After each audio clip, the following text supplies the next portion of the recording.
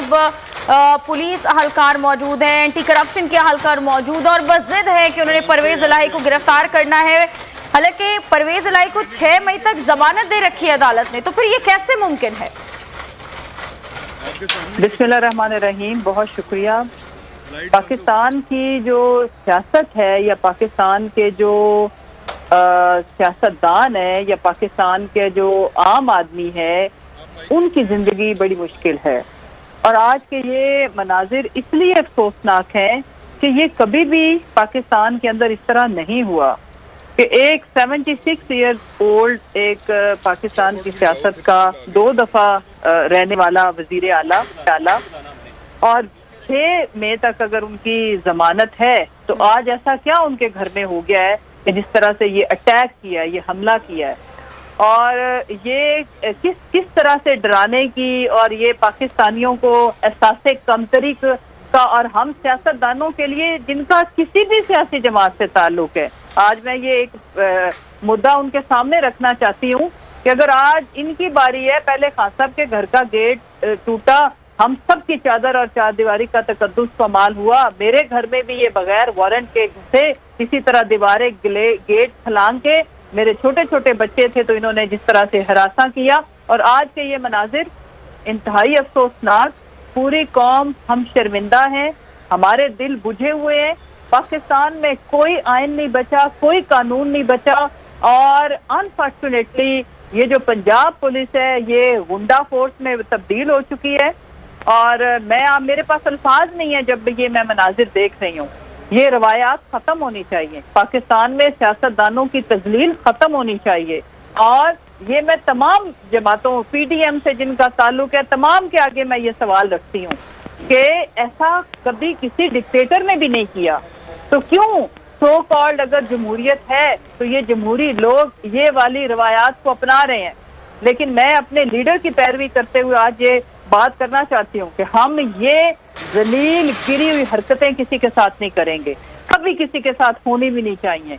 लेकिन आज आप क्या कहती हैं? एक तरफ़ मुजाकरात की दावत दी जाती है मुजाकरात हो भी रहे हैं और उम्मीदें भी वाबस्ता हैं। दूसरी जानब ऐसी कार्रवाइयाँ?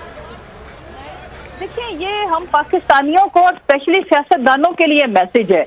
कि ना हमारे औरतों की इज़्ज़त है ना हमारे घरों की इज़्ज़त है ना हमारी चादर और चार दीवारी की इज़्ज़त है और हमारे जो आम आदमी के अगर कोई लीगल राइट्स हैं तो वो हमारे नहीं है अगर हम अपोजिशन में हैं और ये आप मुझे ये बताएँ कि इस इस सूरत हाल के अंदर हम्म। क्या मज़ाक और क्या कंक्लूजन हम्म। क्या मतलब आप क्या मैसेज क्या देना चाह रहे हैं मतलब क्या इस घर में कोई दहशत गर्द है कलभूषण है या आ, मत, आप ये किसी और तरीका कार के तहत कोई पहले उनको वारंट दिखा के या अग, और अगर मुझे समझ नहीं आती कि अगर किसी की जमानत हुई हुई है तो फिर आप उनके घर के ऊपर हमला कर कैसे सकते हैं? इस बात की मुझे समझ नहीं आ रही।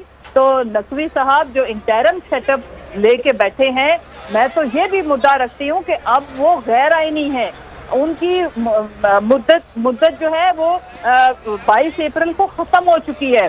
और आज ये किसके अहकाम के ऊपर ये घर के ऊपर, इधर जहूरलाई रोड के ऊपर जो चौधरी साहब का घर है, उस पर हमला किया गया है। आज ये किन, और ये किन के ऑर्डर के ऊपर ये जो जो ऑफिसर ये कर रहे हैं, इसका खमियाजा उनको भुगतना पड़ेगा बिकॉज़ आज मुझे समझ नहीं आ रही कि अब एक सवाल ये भी बोल रखे पाकिस्तानियों के सामने कि आज पंजाब में हुकूमत किसकी है हम्म। क्योंकि इंटरम सेटअप खत्म हो चुका है उसकी आयनी मुद्दत खत्म हो चुकी है हम्म। और अगर उनके कहने पे जो भी कोई छोटा सा कोई चेक साइन करेगा हम्म। तो वो उनकी तनख्वाहों से पैसे काटे जाएँगे ठीक है और ये बड़े बड़े फैसले सवाल ये चीज़ें सवाल तो बहुत सारे हैं और सवाल ये भी है कि अब अगर ये बजिद है और किसी तरह से गिरफ़्तार कर लिया जाता है परवेज इलाही को तो जो मुजाकरात हो रहे हैं, अब आगे आप क्या होता देख रही हैं?